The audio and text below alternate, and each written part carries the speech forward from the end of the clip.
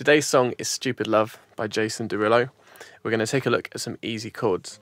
You'll need to place your capo on the fourth fret to match the key of the song. And you can also get hold of one of these free handouts by clicking the link below where you can view it online or download it straight to your computer. Here's the intro and verse. I'll play it through nice and slowly and then talk you through it chord by chord. Here's the intro and verse. I'll play it through nice and slowly, then talk you through it chord by chord.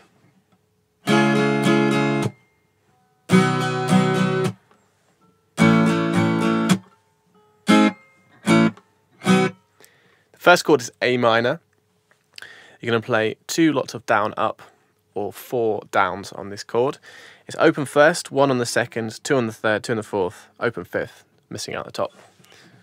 Then there's a pause after that chord.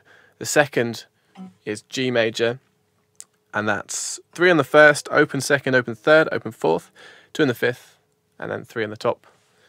Two lots of down up, or four downs, followed by a rest. The next chord is F. Let me first show you an easy way of playing this chord. You want to do an open first, one on the second, two on the third, two on the fourth, missing out the two top. If you'd like to do a full F major bar chord, you need to flatten your index finger across the first fret, well, relative to the capo, so it will actually be the fifth fret, um, across all the, all the six strings, then place your third finger on the third fret of the fifth string, fourth finger, third fret of the fourth string, and finally place your second finger on the second fret of the third string.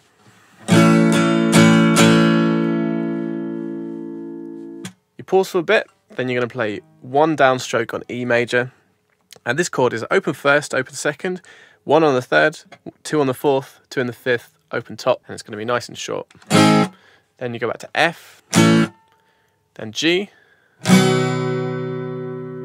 The chorus goes like this.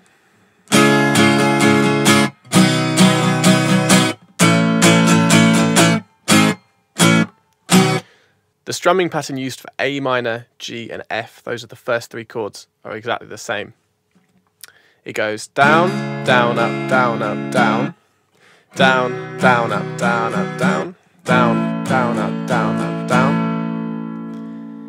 Then the last three chords are E, F, and G. If you fancy learning a fingerstyle version of this song, please check out my other video, have fun, and subscribe.